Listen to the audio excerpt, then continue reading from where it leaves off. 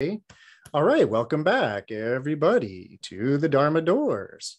I'm MC Owens. You're in the San Francisco Dharma Collective, either virtually or IRL. Uh, and tonight's a special night. Uh, in fact, I thought we'd do something different tonight. I thought we'd talk about how to alleviate suffering. How does that sound? of course, of course, I'm just kidding. We talk about that every Sunday night, but we might have lost sight of that, which is why I wanted to start with that comment. The sutra we've been working on, the ideas that we've been working on here on Sunday nights, they've gotten pretty deep, pretty profound. And tonight, I kind of want to reel things in a little bit, at least on my end, by attempting to make uh, at least the Dharma talk portion of tonight a little more accessible, a little more applicable to the basics of, of Dharma, the basics of Buddhism. But we are going to dive back into our sutta, or our, I should say our sutra. Um, yeah, so the theme for tonight, since Sunday nights now have a theme, the theme for tonight, and I wrote it down, is shunyata, otherwise known as emptiness, everybody's favorite topic. I will let you know, though, that I'm also going to be talking a lot about animitta, which is translated as, you might know it as signlessness. I refer to it as characteristiclessness.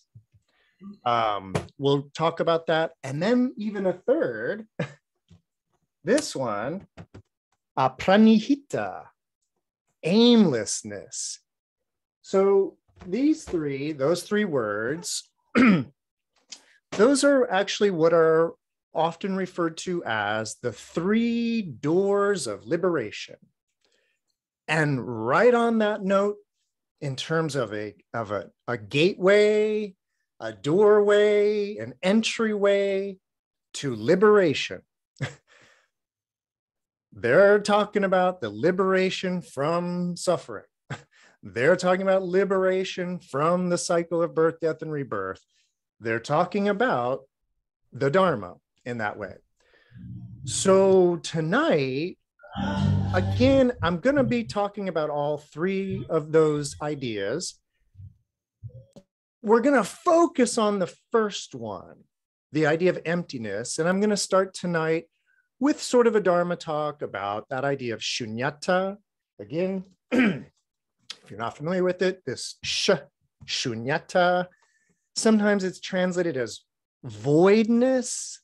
I'm not a huge fan of voidness. I'm going to stick with emptiness tonight. Um, yeah, and so let's start to get into the Dharma.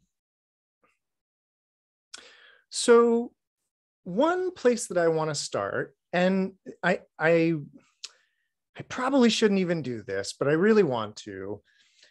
I'm going to actually pick up where we left off last week, just with one idea. So last week, the theme was tathata, suchness, or thusness, or as it isness.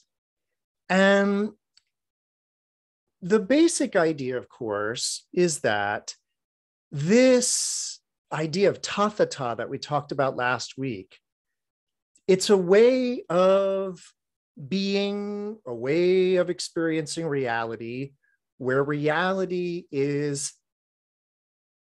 experienced as thus, as being such. And what I sort of, you know, last week was a big Dharma talk about that idea.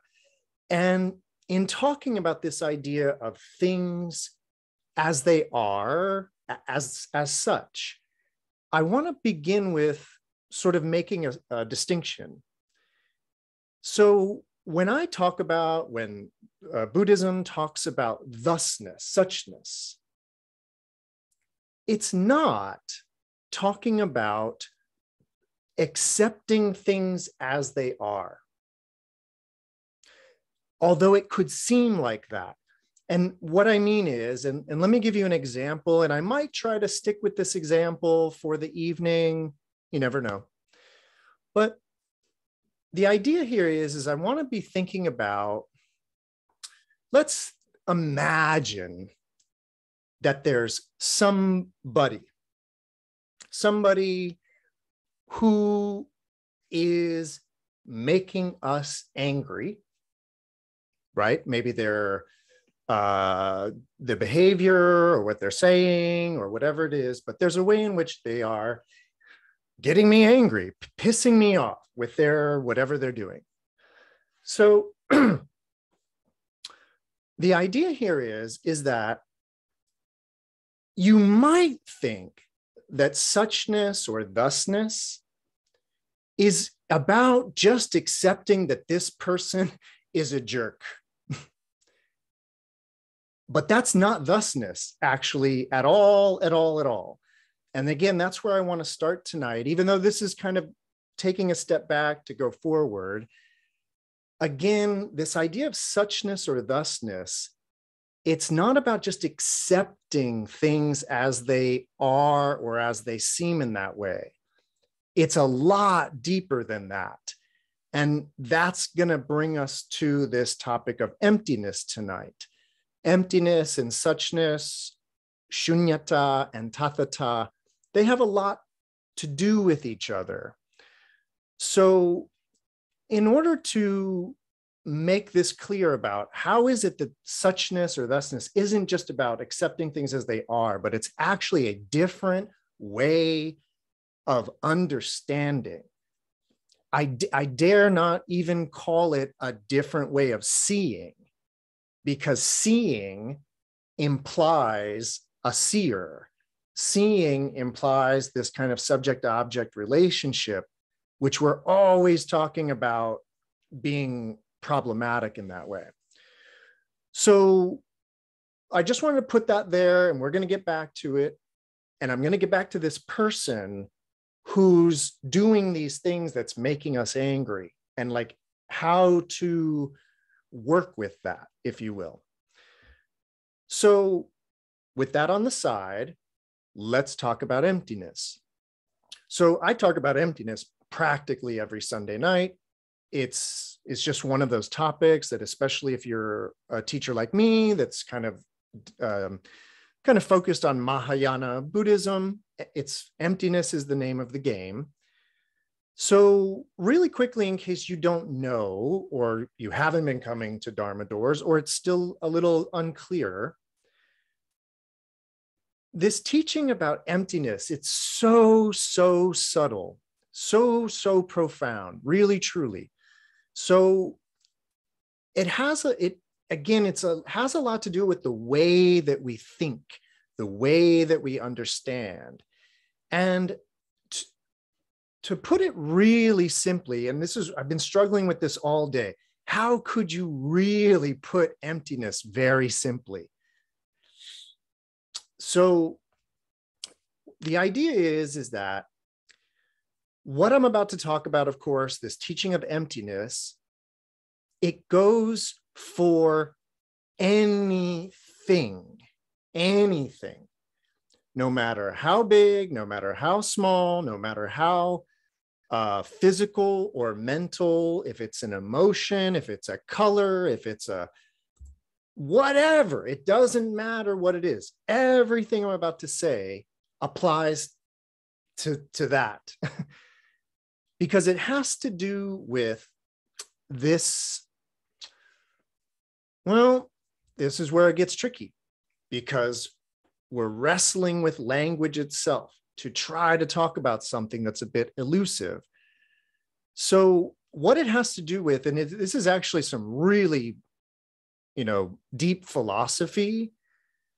It's why I wanted to tell you we're going to try to make this very practical, but I just got to tell you it's a deep idea.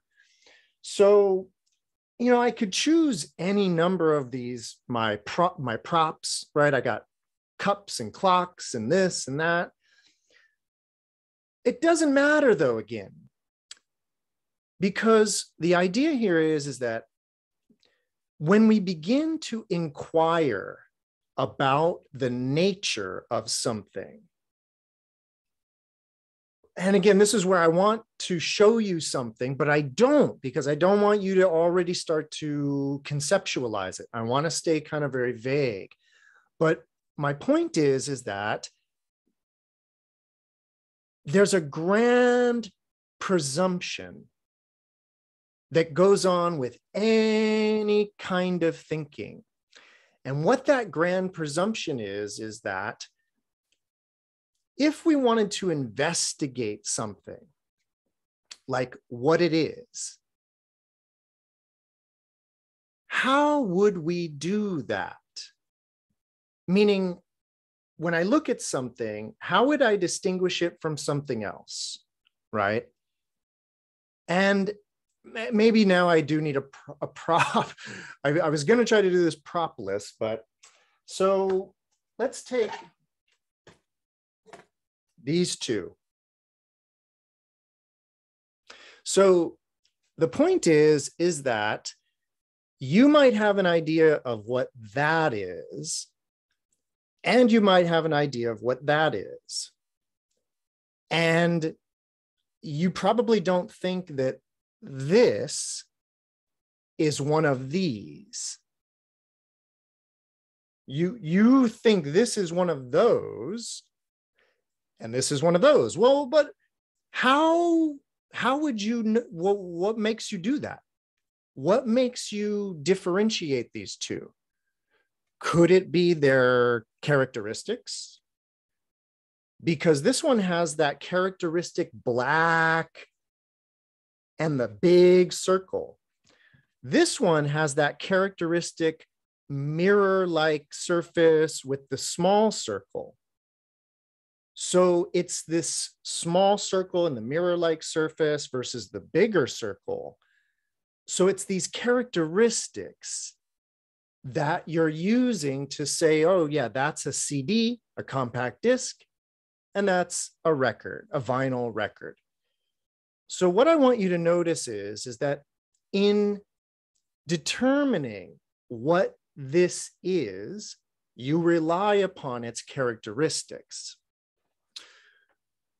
What we're interested in, though, is what is black with a big circle in it? What, what is? And if you tell me the record, I'm going to ask you how you knew it was a record. And you're going to tell me because it, it was black with the big circle. And then I'm going to ask you again, what is black with the big circle? And you're going to tell me it's a record. And we're going to be in this loop forever of what is being called a record. And don't tell me the record, because again, that's tautological. And so that idea of what is being called a record, like what is the thing that is being called a record? And the idea here is, is that as we've talked about in the past, this, of course, is not singular there's the label, there's this piece of paper or sticker adhesive. So this is, of course, not part of the record. But then we could also start to talk about the groove, the grooves of the record. And are the grooves sort of different than the record, or are they the same as the record? But if you because if you didn't have grooves, meaning if it was just a piece of black vinyl, it wouldn't be a record because it wouldn't make music. You couldn't put it on a record player. So the grooves are what make it a record, right? So are the grooves and the record the same thing or two different things? And all I'm trying to do right now is really, really complicate what is underneath all of these descriptions, all of these labels, all of these characteristics. What's what's underneath that is black? That's a record that you could play. That all of these things, and the idea is is that there isn't any thing, meaning any one thing. There are, in a, in a sense, and this is where this is about to get very, very tricky, it's this sort of confluence of things. But what the mind or a mind can do is just hold something as one thing, as one object. And then, as soon as we've got an object, ah, now we can get busy labeling said object with these characteristics and a use value, perhaps an aesthetic value. So, all of these characteristics on top of something emptiness, this teaching about shunyata, is about the presumption of there being something. So, on that note, and since it's early, I'll, I'll, I'll drop this on you. I just want to give you a little taste. This might not be for everybody, but I think it'll be for some. So, this is this is a great little book has nothing to do with buddhism but if you're interested in ideas and you're interested in these ideas you might find it interesting so this is just a cool little book it's a, a collection of essays by this guy giorgio agamben he's a pretty famous living modern day italian philosopher and he wrote a book called what is philosophy and it's a collection of essays and I just want to read to you one little part from his book. Now, he doesn't get into emptiness, but he gets into this, this exact area. So what he says is, is in this uh, opening essay, which is actually about language, it's about like, what do we do with language? And what he says is, anything we name or conceive of is already somehow presupposed in language by reason of the simple fact of being named. I could go on and on. He goes on for pages. But right there is a very interesting thing that anything that we name, it's already somehow been presupposed or preconceived of in terms of language in that way. And that's what I was getting at in terms of this what is this? And you say, oh, it's a record. And I ask you, well, how did you know that? And you knew it because of it, these characteristics. But if I asked you, no, no, no, what is being called a record? We reach the end of language. Meaning that we can't say it, it, it, confronts itself. I, I don't, I'm, I'm running out of words to explain this very idea, but it's about. So the, the divergence, by the way, this whole book, this wonderful little book, the divergence between Western philosophy and Buddhist philosophy, not all Eastern philosophy, but Buddhist philosophy, the divergence is that Western philosophy is still searching for what is being called a record. They're still trying to figure out what the entity or the object is at a molecular level, at a subatomic atomic par- uh, particle level, in all kinds of ways. There is still a kind of a pursuit for what's underneath all of these words? What's underneath all of these labels and descriptors? And so, Western philosophy and definitely Western science is still digging around trying to get to the bottom of phenomena.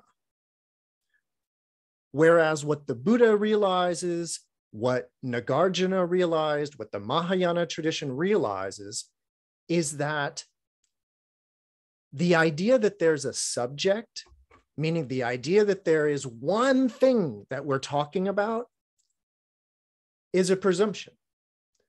And as soon as you understand that idea, you realize, oh, there's nothing underneath all of this. It's a kind of house of cards of ideas, a house of cards of words and concepts that are all in relationship to each other.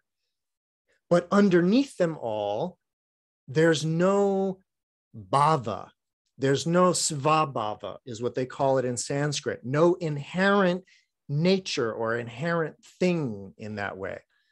And so emptiness is this realization or this teaching about that there's no singularity, there's no individual entity or object anywhere. And what happens is, and now I might the record one, the record one is a little tricky, but if I show you this one, this Dharma, this object, the idea here is, is that the singular object, the clock, well, what is being called a clock? And don't tell me the clock. what is being called a clock? And I know you might think that pile of plastic that pile of plastic stuff in your hand. That's what we're calling a clock. How did you know it was a pile of plastic? Where are those words and ideas and concepts coming from? So, emptiness isn't just about the one thing, it's actually about how the button, that also is a singular concept and underneath empty the hands, the face, the battery, they're all individual concepts and ultimately empty underneath. Now, the most important thing I can tell you about this at this point, or, or that I can kind of emphasize, is that emptiness doesn't mean not real or not existent or it's it's because look But what we're interested in in terms of this idea of emptiness is about this. Again, it's a presumption that there's something underneath all of that. So the really now what I want to do is everybody doing okay uh, with this emptiness idea? Cool. Yeah, Jenny.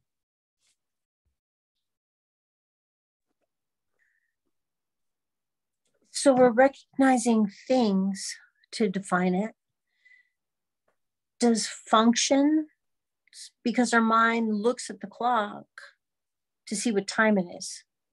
Yep. Right. So that's a different, is that a different kind of recognizing the thing? so use or function is a very interesting one. It's a very interesting characteristic. So if I show you this again and you think there's one thing in my hand, just one, you probably call it a clock. Again, what are we calling a clock? I don't know. But now the idea is, is that the clock is red. So that's a characteristic. It's a small clock that fits in my hand. That's a characteristic. And its use, its function is a characteristic. So, but here's a funny one, Jenny. Thank you, by the way, for this great question. So,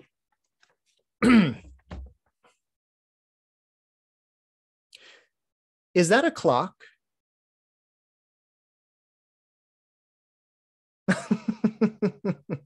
it's just three o'clock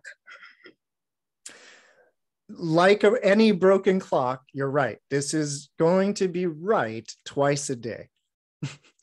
but let's, okay, besides that, I ask again is this a clock though? And the idea, of course, is that it's awfully thin. These hands are not moving. And so, is it a clock? Now, Jenny, what I'm riff, riffing on here is this idea of function or use. And right now you say, well, it doesn't function. It doesn't function like a clock. So it's not a clock. Does that make sense? It's a piece of paper. Yeah. Because that would be its function is I drew, I drew on it. So its function is to do that. So you're telling me this is not a clock because it doesn't actually clock. It doesn't keep time, right? Well, guess what? This one's broken. It doesn't keep time either. So is this a clock?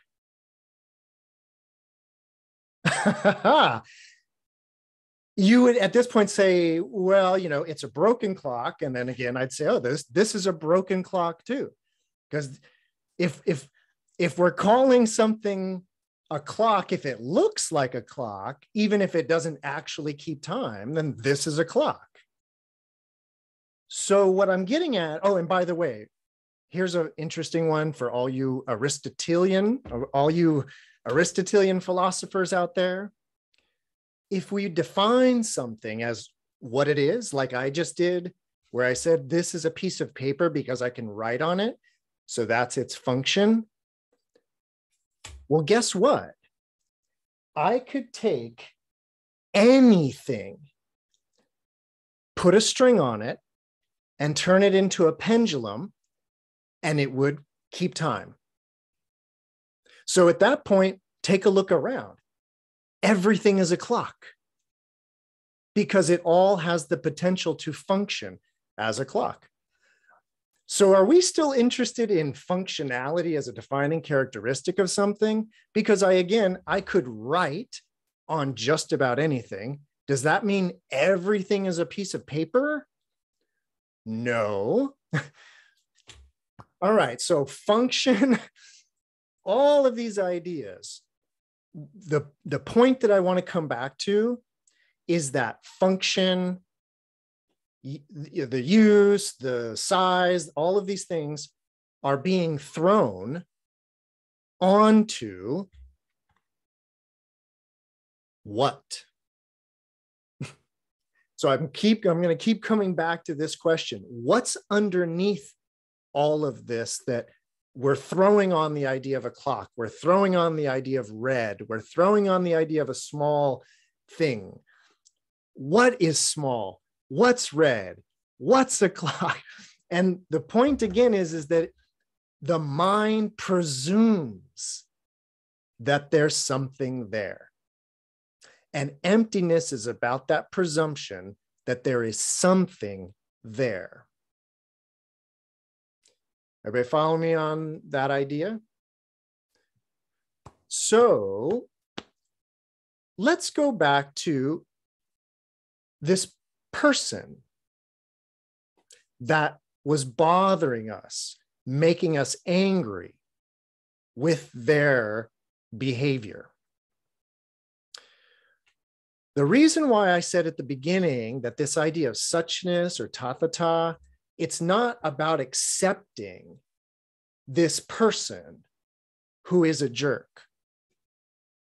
Emptiness, first of all, is a teaching about how there is no singular person that is doing the behavior that you think, but your presumption that there is one person out there doing the thing, that's the presumption of, an, of a subject. That's the presumption of there being something. And now it's a person, a human, a jerk, insensitive, da da da da da da da. So all of these characteristics are being thrown on top of shunyata, emptiness. There is no person underneath all of that. And guess what? In this scenario where that person is making this person angry, the presumption that there is this one person, Michael, hi, that too is empty, meaning that presumption of the of the self in that way. So at the beginning of the Dharma talk tonight, I said, let's talk about the alleviation of suffering. Getting angry is suffering by Buddhist definition. And so the alleviation of that, not being angry, not having the the tight chest and the tight stomach and all of the symptoms of hate of anger in that way the idea is is well not suffering would be not having that. So the idea here is is that there's a a building up of all of this and what i mean is is this. Initially there's the presumption that there's somebody there. That's that initial delineation of a singular entity that we're calling a person. Then there's the heaping of characteristics on top of that presumed entity. They're a jerk they're insensitive they're mean so that's on top of the person and then there's an even third layer, which is that that jerky, mean behavior is making me angry. And something needs to be done about all of this, meaning this person needs to stop or whatever it is. So, what I'm getting at is, is that at the third level of this, there is a desire a wanting for something to happen, which is for this person to shut the hell up or whatever it is. So, what I'm getting at is that these three doors of liberation, they are a little bit sort of progressive, where you have to have something to begin with that can have characteristics which can drive us in certain directions in that way. And so the liberation, the doors of liberation are about realizing that there isn't anything underneath all of those characteristics. And therefore, there is nothing to have said characteristics. That's the characteristiclessness or the animitta. And since there is nothing there actually having the characteristics that I think, there is no desire for things to be one way or the other. Because we understand that there's nobody to change their behavior. There is the suchness of the experience of all of that, which is the experience of feeling embodied, being angry about what I think is a person who I think is a jerk. And there is the suchness of all of that. But again, when we talk about tathata or suchness, it's not about accepting this person and accepting their jerky behavior and just kind of being cool with it. Because that's still preserving that you are cool with their behavior. And I've just been talking about how there is nobody there with that behavior for you to desire for you to desire to be one way or the other. So we want to notice, and this is where I want to come all the way back to my initial kind of statements. Even though this stuff is very like deep or subtle or philosophical, we're really getting it to the heart, to the core at what drives behavior, what drives suffering in that sense. So I hope everybody's okay with all of that. Cool. Awesome. So that's just a little uh, preparation, I would say, preparation for the sutra. So, hmm. Knowing. What, what, what, so this is the origin of suffering? It is in that, in the Mahayana tradition, the origin of suffering is sort of understood to be ignorance more so than the clinging and craving that you might be used to. Meaning that in the Hinayana, in the early form of Buddhism, craving or desire, that was the cause. And it is a cause of suffering. I'm not going to say it's not. But what the Mahayana realizes is that the very thing that we crave is empty. And if you have that wisdom, there's no room for the desire. There's no room for the craving. There's no crave what? Who? Cra- who craves what? So, great question, Noe. Great comment. And notice that we are still talking about the alleviation of suffering, but just at this deeper level where we're going to kind of, in a way, nip it in the bud before it even arises to the point of craving in that sense. Awesome. Okay, so if there's no more questions, comments, again, this was all then kind of preparatory for returning to our sutra. So we're diving back into uh, Manjushri's Pure Land Sutra, where we've been in the middle of this dialogue between the bodhisattva of wisdom, Manjushri, and this other bodhisattva, lion courage. And as I've mentioned now for a few weeks, this dialogue between these bodhisattvas is very interesting. The first question that our bodhisattva lion courage had for Manjushri was when in the future will you become a Buddha? When will you attain enlightenment? When will your suffering be ended? And of course, the dialogue was about how there is no one. so in the future, there's what future? Manjushri says. You can go back and check on that part of the conversation. But then the Bodhisattva Lion Courage shifts and asks about the past, which was when did the Bodhisattva Manjushri first generate bodhicitta and start heading towards Buddhahood? So, when in the past did you first become a Buddhist or first become a Bodhisattva? And Manjushri has problems with the idea of a self in the past.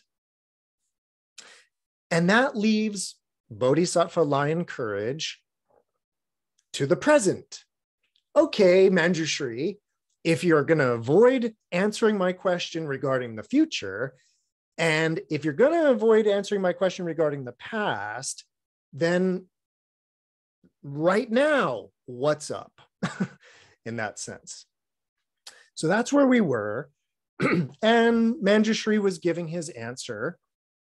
And I want to return just quickly to a, a part, just a little bit um, before we stopped. And it had to do with Manjushri talking about how things, phenomena, dharmas, how they neither are permanent nor impermanent. And this is a big, uh, big idea. It refers back to an early Buddhist idea from that Hinayana tradition, which is about the impermanence of all phenomena. The Buddha taught anicca, the impermanence of all things. things don't last forever, they're impermanent. But I also mentioned, I don't think it was last week, it might have been two weeks ago, I might have mentioned this, this Buddhist critique, it's the Buddhist problem with what is called the two extreme views the extreme view of eternalism and the extreme view of nihility or annihilationism or nihilism. and really quickly, a quick summary of those because it's kind of important. If we have something, whatever it is, uh, a Michael or a clock, the question is Does the clock, does Michael last forever and ever and ever eternally? Or does the clock fall apart and go out of existence? Does Michael fall apart and die and just go out of existence into nihility, into annihilation? The Buddha has always, even in the Hinayana, excuse me, the Buddha has always described his teaching, described the Dharma, as a teaching that avoids the two extreme views. Now, the thing about it is, is that in the early Buddhist tradition, in the Hinayana, they were very focused, in many ways, they were only focused on the idea of a self and whether the self was permanent or impermanent. The self, by which they actually mean the Atman, the, the, the soul or the essence. And so we are either an eternal soul going through reincarnation after reincarnation after reincarnation forever and ever and ever and ever. Or when we die, we go out of existence. No more Michael. That's it. The Buddha said that regarding the self, his teaching avoids the two extreme views because there is no self. There is no Atman. And by recognizing or understanding that there is no Atman, well, then there's nothing to last forever and ever and ever, but there's also nothing that goes out of existence. If you if you understand that, well, actually, that teaching about if there's if you understand that there's no self then there's nothing to be permanent and eternal or anything to be impermanent and falling apart. They call that the teaching of the deathless. You tap into that teaching about no self, and there is nobody to die.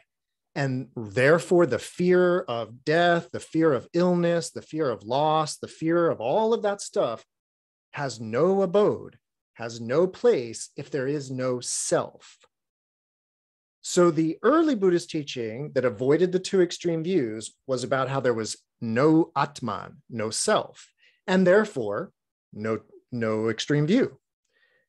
However, in the early Buddhist tradition, there were, and because that tradition still exists, there are in that tradition, the five aggregates the body of physicality, the blood, the bones, the sinews, the organs, the sensations, the perception, the habits, the samskara, and the consciousness. Those were phenomena that were impermanent, like everything else. And everything here is impermanent. And any form of attachment to this is going to be very disappointed. That's all I can say. Any attachment to this body is going to be very disappointed. That's the idea. So the Buddha said, This is all impermanent. You really shouldn't be attached to it as if it were going to last forever. And if you are in tune with there not being a self and in tune with the impermanence of all physical phenomena, that was the alleviation of suffering. And it is a path to the alleviation of suffering. In the Mahayana tradition, as we learn from the Heart Sutra, the five skandhas are empty. And so, what the Mahayana Buddhist tradition does is it applies the same logic of no self to the skandhas and comes to this realization of total emptiness, the emptiness of all phenomena. There isn't even a physical body to fall apart and be impermanent. So the Mahayana is a little different in that regard, that it's not just the self that's in illusion, it's all individuated phenomena by virtue of being individuated, if that makes sense. All right, everybody follow me on all of that. Cool. So Manjushri introduces us this, this idea that if you understand that all phenomena, all dharmas, are neither permanent nor impermanent, then Manjushri asks the Bodhisattva, is there any increase or decrease? So this will be a good, uh, a good um, interjection. So the language of Dharma is neither increasing nor decreasing. This is also language that you might be familiar with from the Heart Sutra. The Heart Sutra also says phenomena neither arise nor cease, are neither defiled nor pure, and neither increase nor decrease. So the way that you can think about dharmas not increasing or decreasing, let's go back to that person who was being a real jerk with their behavior. What it would mean to think in terms of increasing or decreasing is that person getting even meaner and more of a jerk and more of a jerk. Or the idea that they might actually get nicer and nicer and nicer, meaning that their, let's call it unvirtuous behavior, right? That would be a very Buddhist way to talk. This person's unvirtuous behavior, they're speaking harshly, they're being mean. So the idea is, is that we could talk about their behavior increasing and getting worse or decreasing, and in that sense, getting better. But we've just established that there isn't anyone there underneath that behavior. So, is there anyone getting more and more mean? Is there anyone getting less and less mean? The idea here is is that to presume that it's getting better or worse is to presume that entity or that person. And the idea again going back to noe's great question and the idea about the wisdom here is it's about the wisdom of understanding oh there isn't any entity any person there for the behavior to increase or decrease. There is just the suchness of the way it is at that moment, if that makes sense. Okay, so in terms of since dharmas are neither permanent nor impermanent, is there any increase or decrease? Bodhisattva Lion Courage says no, of course. There's no entity underneath in that way. Manjushri says, if a dharma, if something neither increases nor decreases. This is called perfect. What is perfect? If one is unable to understand all dharmas, one then gives rise to differentiation. If one is able to understand all dharmas, then there will not be differentiation. if there is not differentiation, then there is no increasing or decreasing. If there is no increasing or decreasing, then this is equanimity. For this reason, if one sees form equanimously, this is the perfection of form. Sensations, perception, conditioning, and consciousness, and all other phenomena are also like this.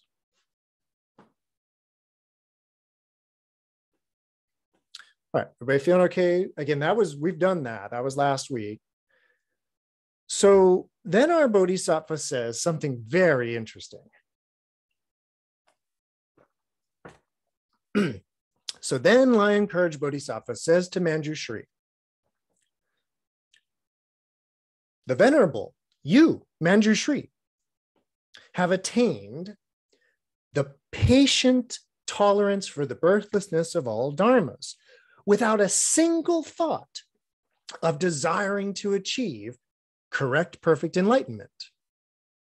That's what Manjushri said before. He said he doesn't seek enlightenment in the future. So, that being the case, the Bodhisattva Lion Courage asks, Why do you now then persuade others to move towards awakening? Great question. Amazing question, right? Everybody kind of get how amazing that question is? Manjushri says, in reality, I do not persuade a single sentient being to head for awakening. Why?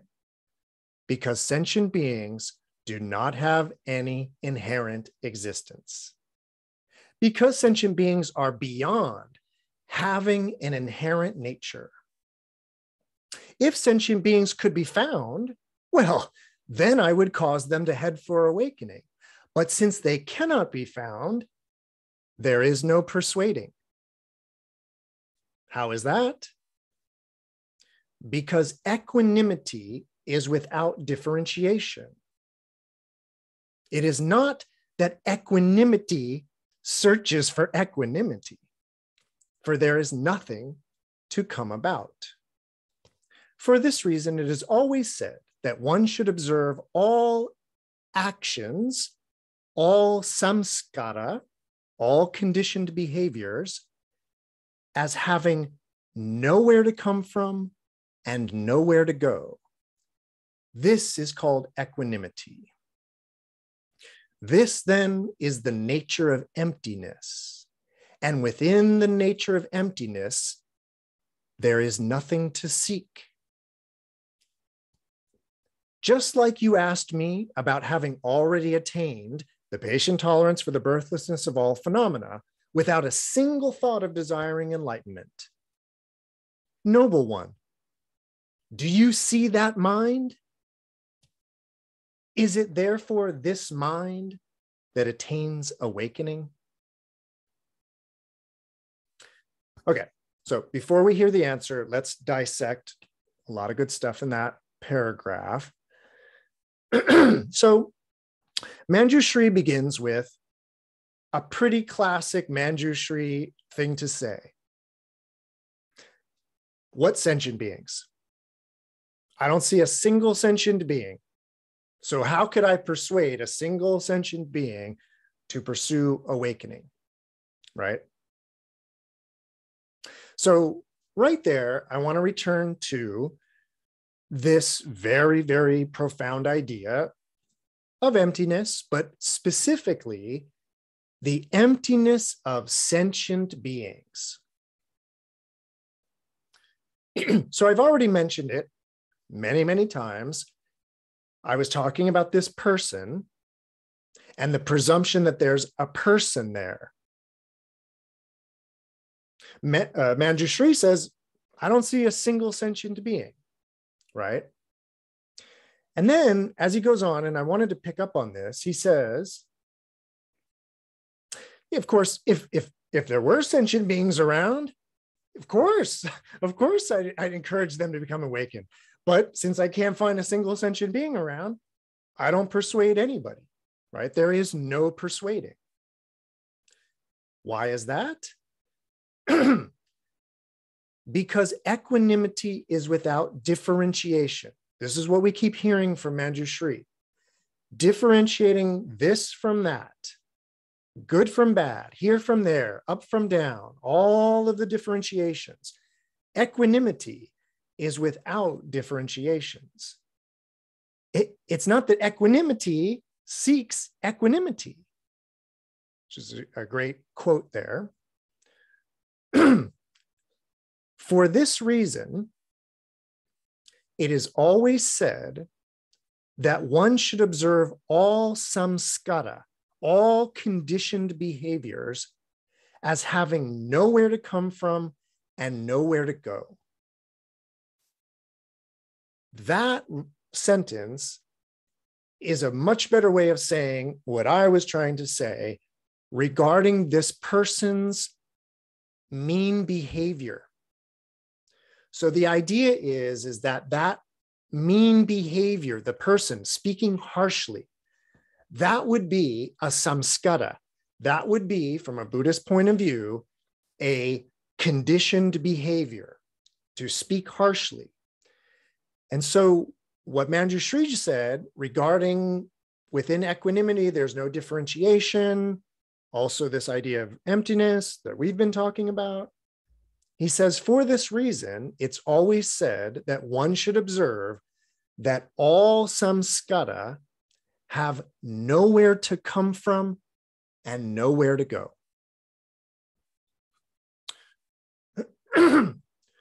so, the way to understand that, excuse me,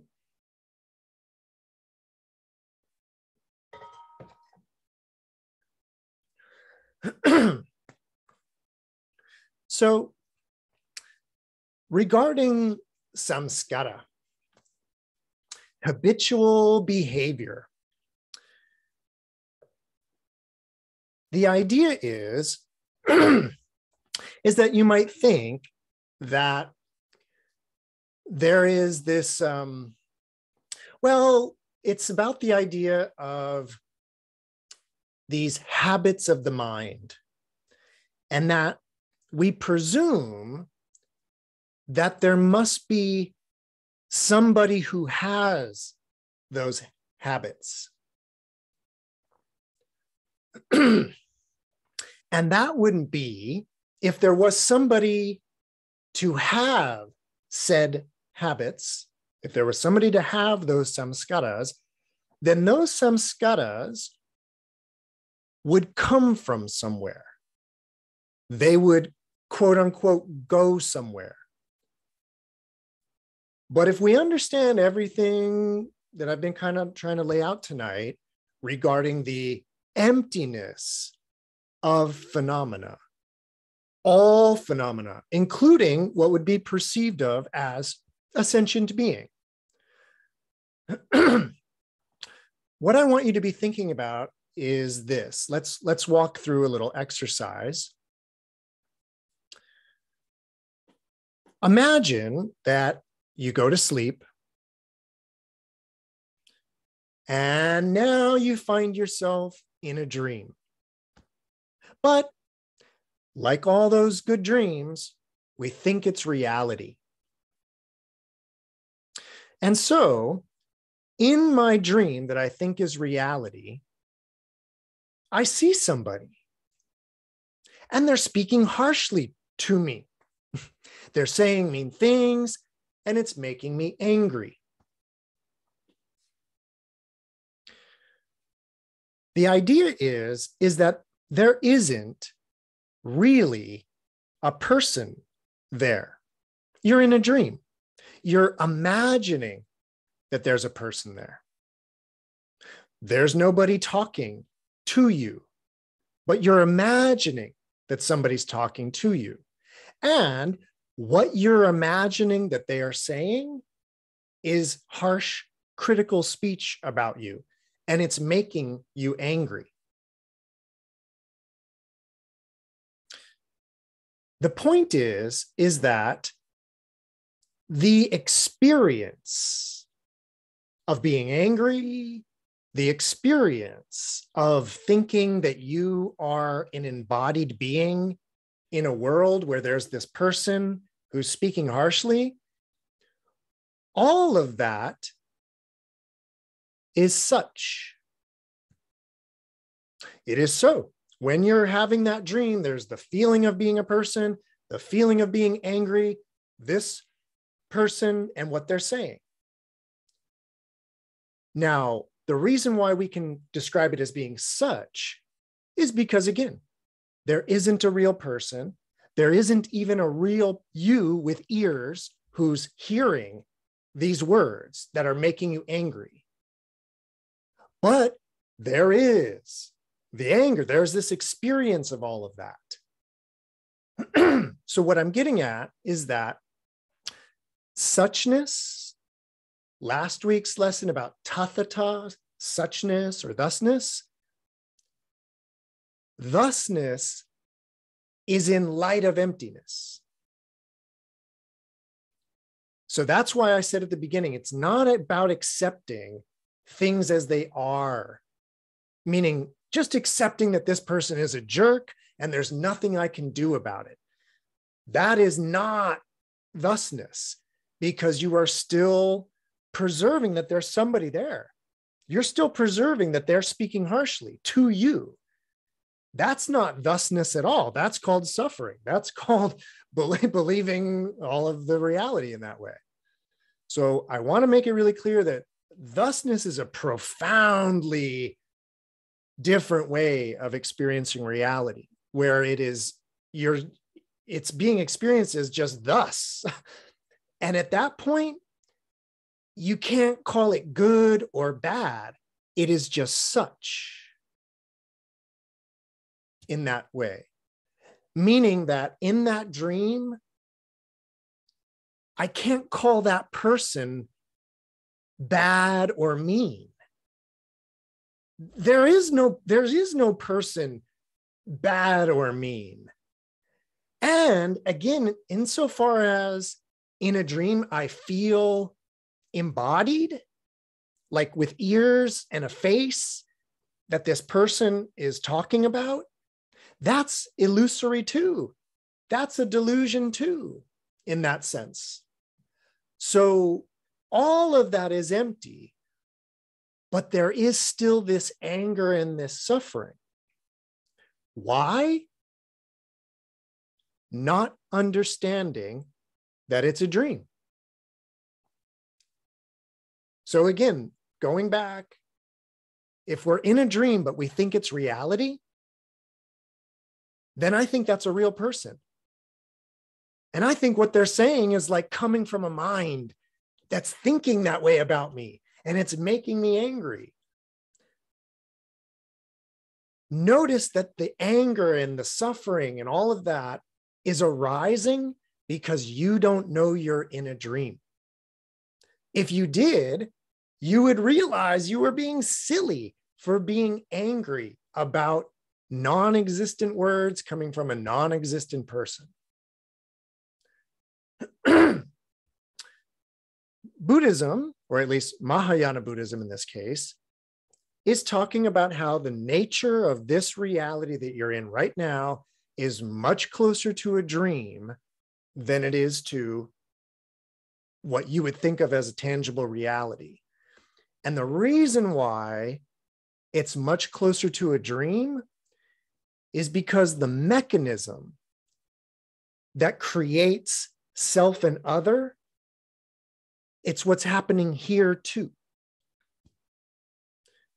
So I often point this out about dreams. Dreams are a crazy place to practice because you can witness firsthand, especially if you're in a lucid state, probably only if you're in a lucid state. But what you can realize and see happening firsthand is how the arising of a sense of self comes from thinking there's not self, meaning thinking that there's something that is not you. So you get this co arising of self as you're sort of pushing things away as not being you. So when you're in a dream and you're like, what's that? The mind that says, what's that? creates the viewer, creates the idea of there being somebody on this end seeing that on that end. And the idea here is is that it's the same clock that you see in a dream that you're seeing right here. Meaning there isn't a clock here, but there is an impression and then a mind that thinks they're seeing a clock. And that's the exact same mechanism as in a dream. All right, Noe, I saw your hand a while ago. Thank you. Thank you. I have very pleasant dreams, by the way. very, very pleasant. Very. And, the, but the thought that comes to mind is the mind where my dreams come from. They're generated from my mind. And this phenomenon is created, generated from my mind. My mind. so back up the word my mind, the mind.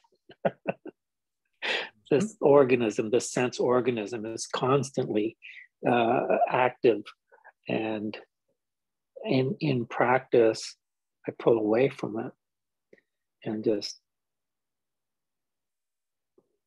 at times the suchness of the thing oh yes huh.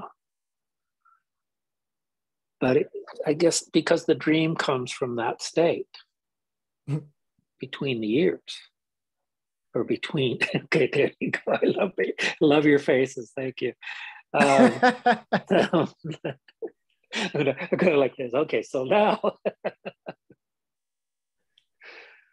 but I guess the point is, uh, it, it's it, it, it's a very funny, funny thing. The mind, or a mind, or this pers- phenomenon. It's quite amusing. I'm so happy I have pleasant that there are pleasant experiences in my in this phenomenon when I'm sleeping. So, Noe. Yes. Uh, Manjushri has a question for you. Do you see that mind?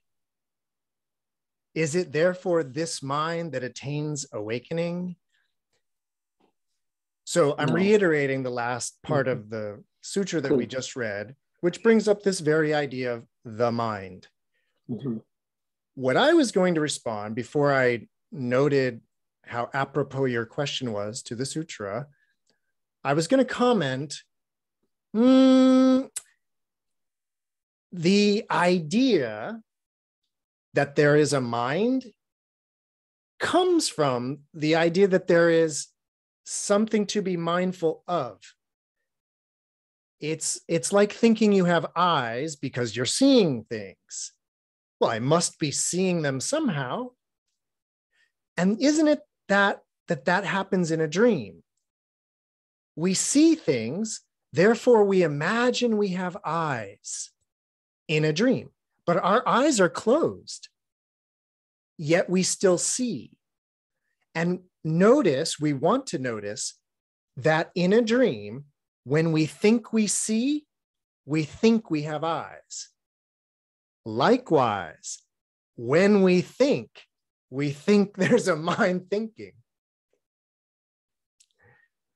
So, along these lines, Manjushri asks again the Bodhisattva, so this mind, uh, you know, that we're talking about in that way, do you see that mind? Is it therefore that mind that attains awakening? And Lion Courage Bodhisattva replies, No, Manjushri. Why? because mind is without form and cannot be seen. So, this is a well established Buddhist understanding that the mind is formless. It does not have a color or a shape or a size. It doesn't make noise. It doesn't give off an odor. You cannot touch it. And in a way, you can't even think about it. It is formless.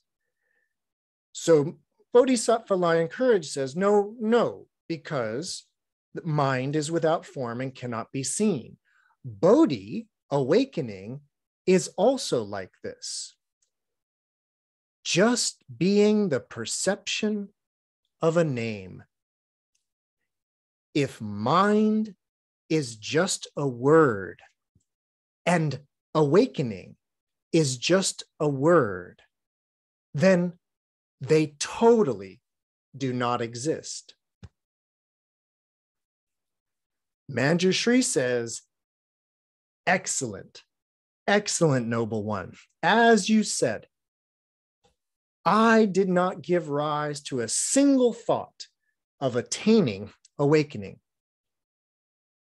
There's a secret intent to me saying this. There's a secret meaning to me saying this. What is it? Because the mind originally has not arisen. For this reason, there is no arising. As there is no being arisen, what could attain what realization? so, right there, we have basically I've t- you know I, I took away all the dharmas, I took away all the phenomena, individuated entities, and then got down to even these. We could say shunyata, emptiness, is just a word. Mind is just a word. Awakening, these are all just words that don't exist in the slightest. And then this subtle secret meaning that Manjushri says. Because the mind originally has not arisen, for this reason, there is no arising. So, what they're talking about is the arising of a particular state of mind, like being angry or what have you, or even what Noe was talking about regarding the mind in a dream, the mind that is having a dream. Manjushri says the mind originally has not arisen. And let me let me just make try to make this simple. So remember remember my clock and we went through this exercise where I tried to point out that the idea of a clock is an idea that is, in a way, being projected onto what you think is an individuated object in my hand. And as we peeled away the imputed characteristics, as we peeled away all of these things, and I kept asking this interesting question What is a clock? What are we calling a clock?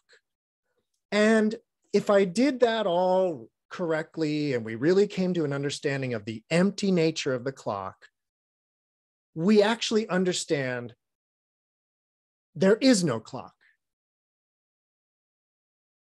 Is everybody with me on there not being a clock? So then, if we understand that, does it make sense to talk about when this clock was manufactured? what clock was manufactured? Does it make sense to talk about this clock being destroyed? Like breaking and falling apart and not existing anymore? Well, no, it, there isn't a clock to go out of existence. So if you understand how emptiness implies that there was no clock to have arisen, no clock to cease, if you get that and you understand why that logic applies to all individuated phenomena, the mind is an individuated phenomena. Perhaps I individuated as my mind, distinct from your mind, but it's a differentiation. And Manjushri's been telling us about the problems of differentiation, about that type of uh, discrimination in that way. And so, because the mind originally has not arisen, for this reason, there's no arising. As there is no arising or no being arisen, what could attain what realization? This is Manjushri's answer to why he's not seeking awakening, why he isn't awakened now, why he hasn't made a vow to become awakened. There is no mind to re- make a realization to be awakened. So let me, I'm going to, yeah, we, we might get back to the sutra, but I want to kind of conclude a few ideas that I left hanging out there. So now I can kind of introduce in a little more detail this third door of liberation, apranihita. No pranihita, apranihita. So apranihita is a, a desire, a but it's a little deeper. It's not a desire like for a a um a goody it's not like a little desire. Pranihita is like the desire to get awakened. like it's almost, and actually, even linguistically, pra, pranihita, it's re- related to making vows, like vowing to do something. So it's like a big desire, not just a little desire. But apranihita means aimlessness. That term, apranihita, aimlessness, it, it's a really subtle idea. And it, I'm going to talk about it more in future nights. I just want to introduce it now because it'll make sense of this idea. So, something to keep in mind about apranihita and pranihita. So making these kinds of vows. So the idea here is, is that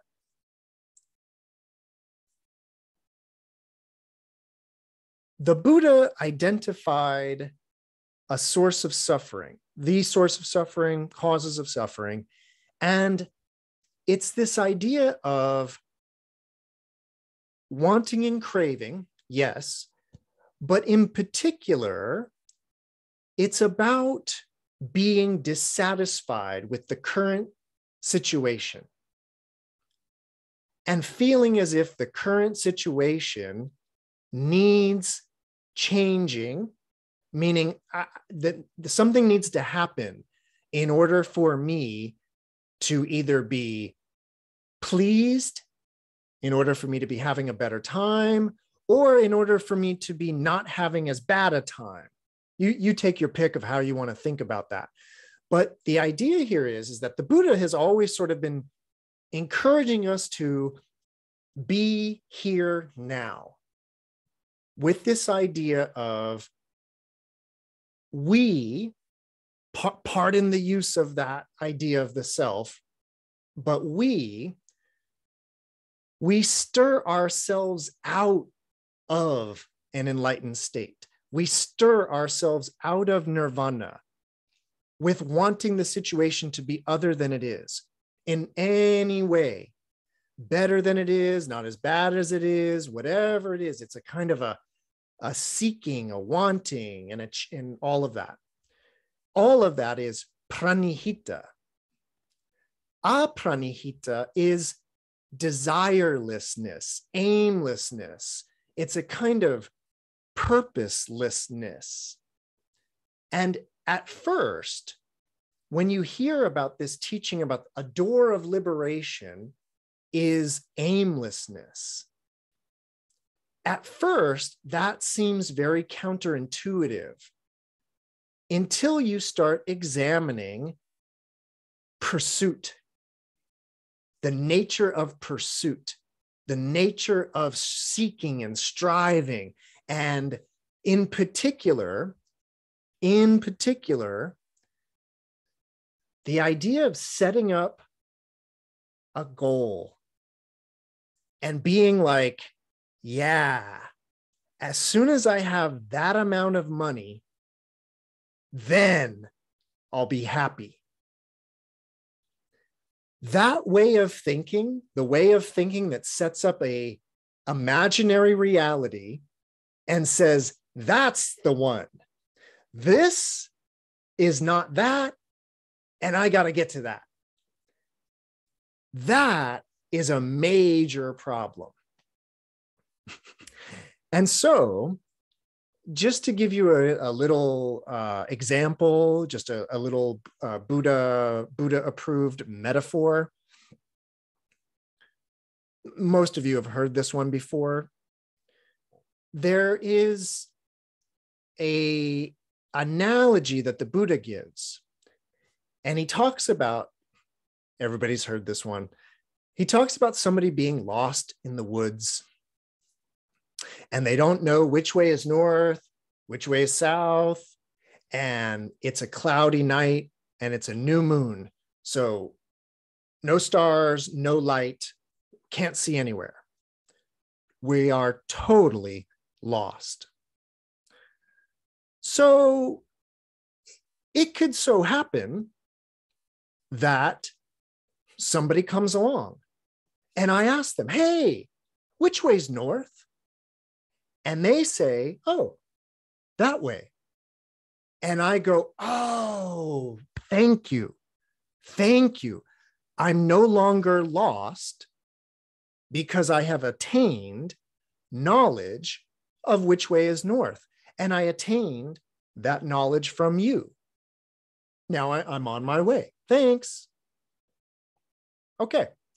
So that is one way to get unlost by learning which way is north, south, east, and west. There's another way to become unlost. And what the Buddha says is the moment the person doesn't care where they're going, they're no longer lost. So notice that the state of being lost is self created. And so it's a beautiful liberation to realize that we can undo that ourselves without relying on another.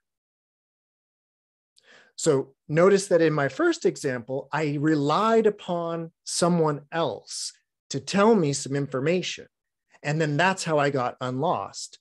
And that's how most religions work that there's some information about God or Jesus or Allah or whoever.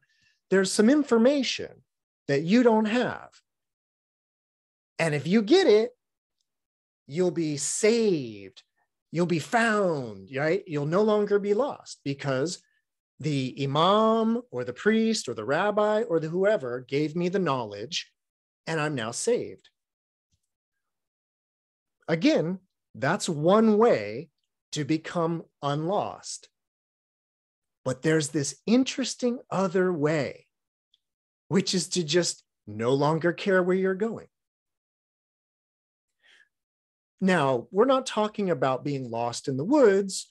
We're talking about being lost in life. We're talking about not knowing what the purposes of what the purpose is here. Which way should I be going? Should I be trying to make a lot of money? Should I be trying to have experiences? Like, what should I be doing here? I'm totally lost. Somebody could come along and give you the meaning of life and point you in the right direction of what you should do with your life. That would be one way to do it. The Buddha is talking about actually this striving and this needing for purpose in one's life. and the idea here, which is that we are creating all of those conditions that set up our own suffering in that way. Just like I said, that if you set up the criteria that this amount of money is happiness, just remember you set up that criteria. Nobody forced you to set that criteria that money equals happiness. So if you're thinking that that is the way to do it, and then you're you're frustrated because you don't have that amount of money, just remember you're the one that created the, the criteria. And you can just as easily uncreate that criteria. If that makes sense. Okay, so that's a kind of quick thing about the teaching of apranihita, this aimlessness, but again, it specifically is about striving, seeking in that way that thinks the grass is greener over there.